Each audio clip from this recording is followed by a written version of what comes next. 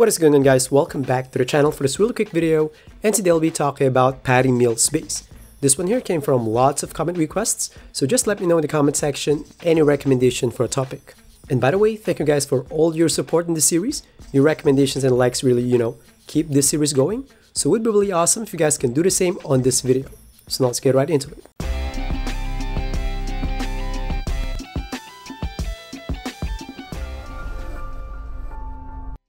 So for those of you who don't know how this jump shot series works, basically every video I'll be covering a specific base or release and I will cross compare to the others that are already covered. In this way, we can build those charts up video per video. There will be lots of elements that will be covered in this one, which is not included on the 2K charts, like front challenge, side drift, and visual comparisons. So now for the first one, in terms of shot speeds, it's right there at the top together with Curry. And by the way, if there are some that have the same shot speeds in there, it doesn't necessarily mean that they are exactly equal.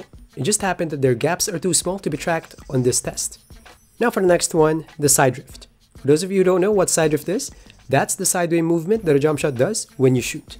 And this one here is not just cosmetics, because it will actually affect coverage. And in here you can see, it's right there at the middle.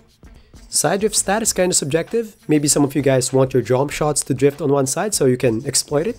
And some of you might want a more stable base because based on my experience, the more side drift the jump shot has, the harder to track the visual cue. So it's really up to you how you want to treat this chart here. And now for the most important part, the challenge reduction. For me personally, it's the most important element because it factors in a lot of things, like your shot speed, release height, front drift, which is the forward motion of your base, defensive immunity, and some other stuff. And now for the results, here you can see it's right there at the second place, just a bit above Curry. And to get some sense out of it, like why it's high on the list, in here you can see, yeah, it has pretty much the same front drift as Curry, but in terms of height, Patty Mills is a bit higher. So I guess that's the reason why it's better than Curry in terms of front challenge. So again, please let me know in the comment section what you think about it, and please leave any base or release recommendation. It doesn't matter what height range it is, I'm running episodes on all height ranges anyway. So that's all for the video, thanks for watching, and I'll see you guys in the next one. Peace.